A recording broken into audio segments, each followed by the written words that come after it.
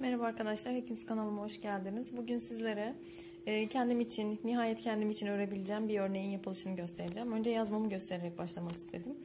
E, uzun bir süre oldu aslında bu yazmayı alalı ama örmek henüz kısmet olmadı. E, birazcık başladım yapmaya. İnşallah sizinle ilk önce onu paylaşarak bugünkü videomu bu şekilde hazırlayacağım. Dilerseniz hemen örneğin yapılışına geçelim. Yazmanın güzelliğini gördünüz. Hemen söyleyelim bir de yazmamın markası Altın Başak. İlk çıktığı dönemde almıştım bu yazmayı.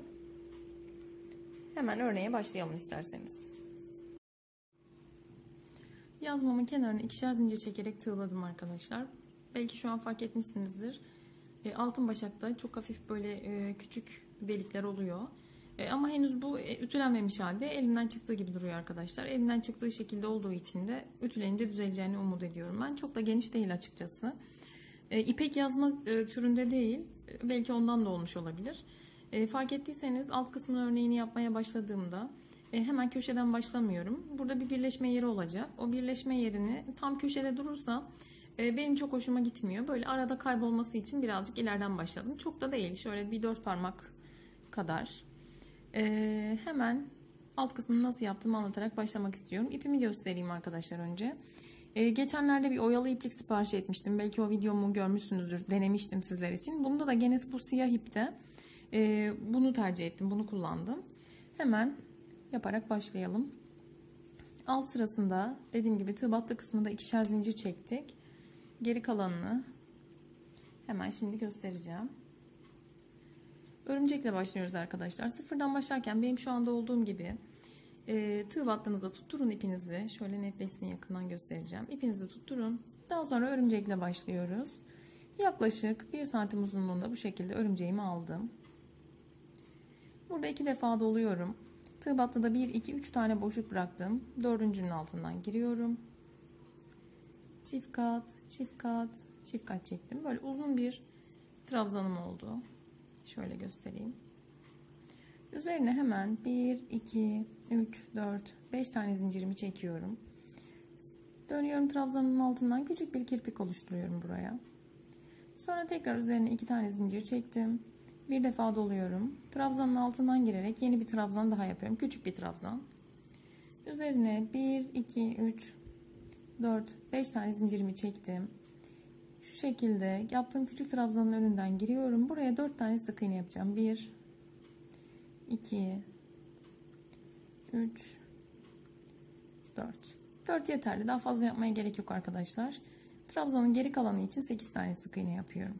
1 2 3 4 5 Şöyle biraz netleşsin arkadaşlar. 6 7 ve 8 8 tane yaptıktan sonra da 9.yu gene tığ battının altından giriyorum. Oluşan motif bu şekilde. Şöyle göstereyim. Bunu arkadaşlar köşenin nasıl dönüleceği çok soruluyordu. Bu nedenle köşeye kadar gelip buradan kalanını sizinle yapmak istedim. Hemen hızlı hızlı birkaç tane yapacağım. Köşenin nasıl yapıldığını anlatmak istiyorum. İki kere doluyorum. 1, 2, 3 tane tığ battıda boşluk bıraktım. Dördüncüye geliyorum çift kat, çift kat, çift kat çektim. Trabzanım oluştu. Üzerine 1, 2, 3, 4, 5 tane zincirimi çektim. Dönüyorum. Bu şekilde tutturuyorum kirpiğimi. Şöyle bir kameramı düzelteceğim arkadaşlar. Sonra iki zincir çekiyorum. Üzerine bir defa doladım. Küçük bir trabzan yaptım. Tekrar 1, 2, 3, 4, 5 tane zincir çekiyorum. Ve buradan 4 tane aşağıya doğru sık iğne yapıp devam edeceğim. 1, 2, 3, 4. Trabzanın geri kalanına şöyle yakından göstereyim. Burada 8 tane sık iğne yapıyorum arkadaşlar. 1 2 3 4 5 6 7 8 şöyle dokuzuncu Böyle tığ altından oluyor.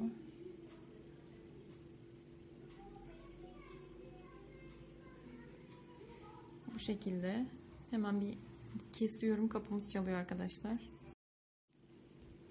Hemen tam köşenin nasıl dönüldüğünü göstereceğim arkadaşlar şimdi. Ben genellikle bu şekilde yapıyorum ve hiçbir problem çıkmadan sonrasında çekme, büzülme olmadan yapabiliyorum. Devam edebiliyorum yani. Buradan önce örümceğimi alıyorum.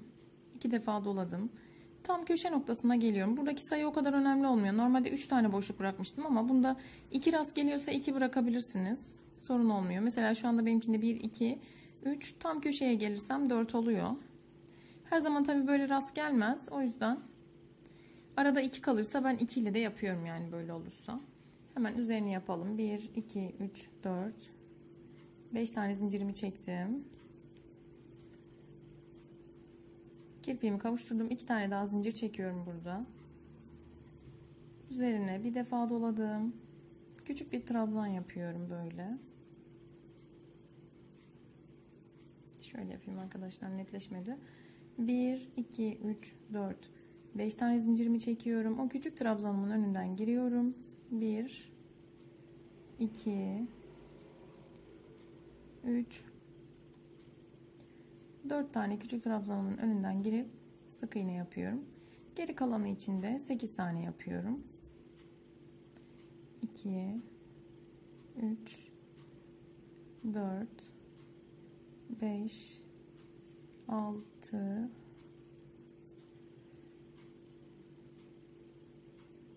7 8 9. tam köşe noktasında bu şekilde oldu benimki. Tekrar burada örümceğimi yapacağım.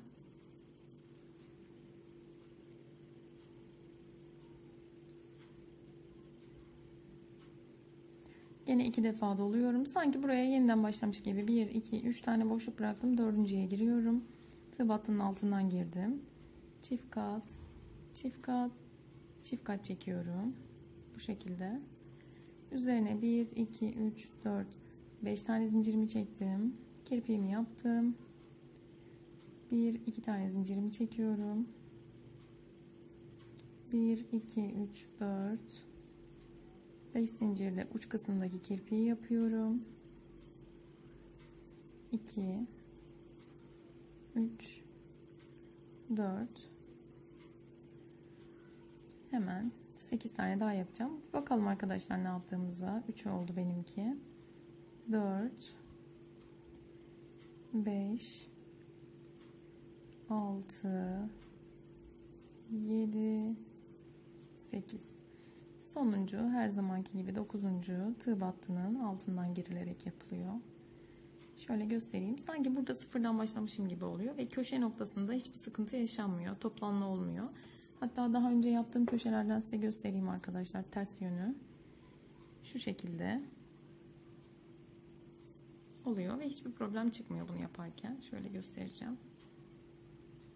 Daha başka bir köşem de farklı rast gelmişti. Onu da bulabilirsem onu da göstereyim. Bu da aynı az önce gösterdiğim şekilde oldu. Bu şekilde. Alt kısma devam etmeyeceğim. Şu arayı kavuşturacağım ama daha sonra kavuşturmak istiyorum. Şimdi hemen size renkli kısımları göstermek istiyorum. İplerimin renklerini yazmama göre seçtim. Böyle bir eflatunum var. Mavi çiçekler var. Mavinin butonunu seçtim ben. En uygun elimdeki ipler arasında bunlardı. Pembe var. Pembe seçtim.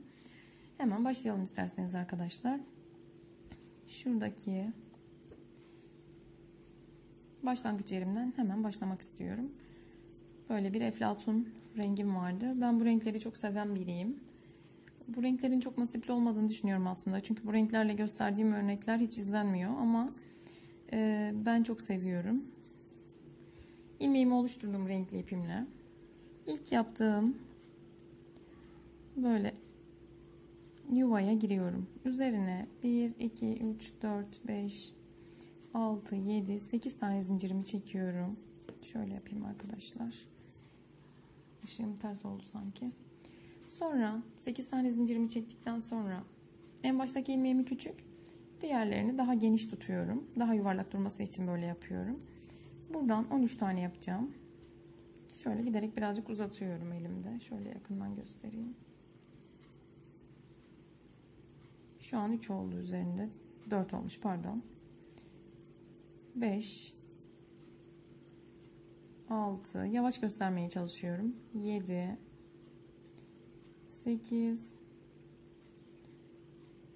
9 10 11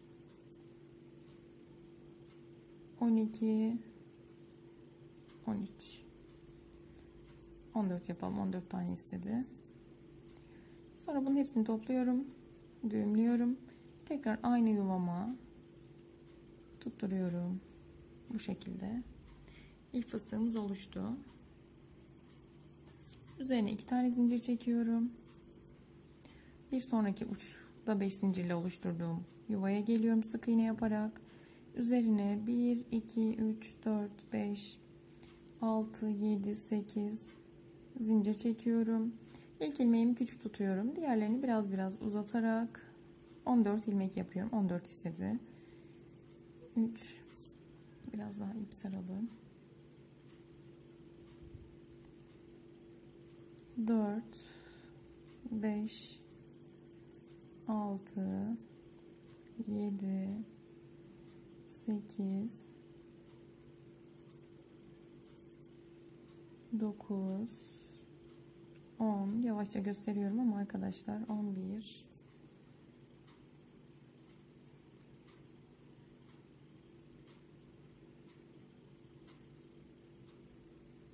12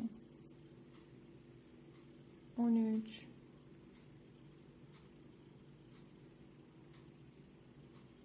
En son 14'ü yapalım. 14. Hepsini birden topluyorum. Düğümlüyorum üzerine. Aynı yuvaya tekrar tutturuyorum. Üstüne bir tane zincir çektim. İpimi kesiyorum. Ben kolaylık olsun diye burada 4 renk kullanacağım arkadaşlar. 3 tane atlatıp tekrar aynı renkle devam ediyorum. Normalde kendim yaparken ama bugün şöyle güzel görünsün diye bir tane de farklı renkle devam etmek istiyorum yanında. Şöyle bir pembem var. İçindeki çiçeklere uygun olsun diye seçtim ama hemen bir de pembeyle yapalım. ilmeğimi oluşturuyorum önce. Bu şekilde. Sonra sıradaki önce alttakinden tutturuyorum.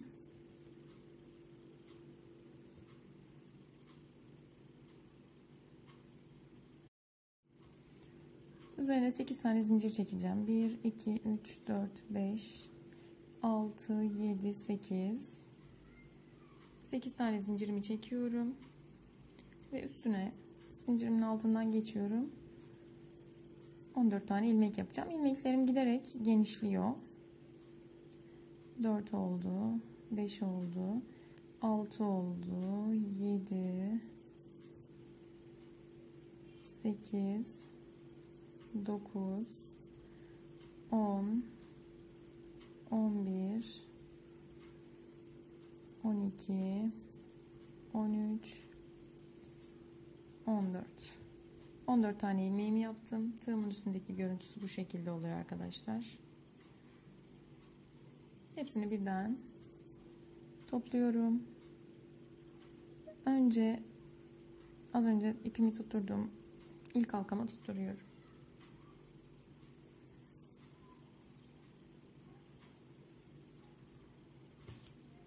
Üzerine iki tane zincir çektim.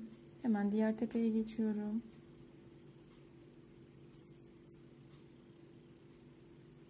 Diğer tepede de aynı şekilde 8 tane zincir çekeceğim. 1, 2, 3, 4, 5, 6, 7, 8 ve bu şekilde zincirimin altından geçerek 14 tane ilmek oluşturacağım.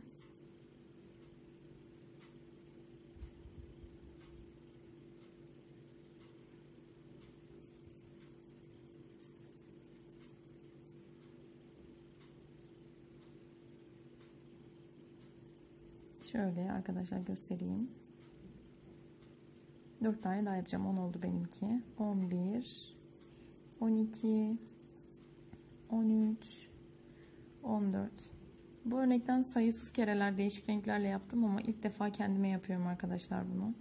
Kendime yapmak bir türlü nasip olmamıştı. Bu benim kendim için. Daha önce gösterdiniz falan diye yorum yapacaksınız büyük ihtimalle ama bu başka yani. Bunu ben kendime yapıyorum. Ee, inşallah hoşunuza gider. Yazmayı çok beğenmiştim aldığım dönemde. Bayağı da üstünden geçti dediğim gibi. Örneğim bu şekilde oluyor. İnşallah hem örneğimin hem de e, yazmamın tamamının tüm renkleri kullanarak bitirilmiş halini Instagram'da sizinle paylaşabilirim. Şimdiden yapıp deneyecek olan arkadaşlarıma kolay gelsin diyorum. Hepinizin ellerine sağlık. Kanalımı takipte kalmayı lütfen unutmayın. Abone değilseniz abone olun. Ee, beğen videolarımı da e, eğer izliyorsanız beğenmeyi de ihmal etmeyin. Böylece beni desteklemiş olursunuz. Şimdiden deneyecek olan tüm arkadaşlarıma kolaylıklar diliyorum. Hepinizin ellerine sağlık.